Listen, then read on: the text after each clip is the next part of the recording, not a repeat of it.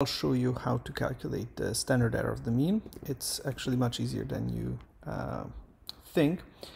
Uh, if you look in the textbook on page 333, you will see the standard error of the mean formula is simply dividing the standard deviation with the square root of the sample size.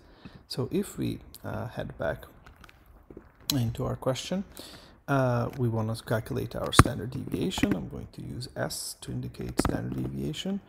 Uh, let's say that we're interested in our routine uh, first, routine uh, variable.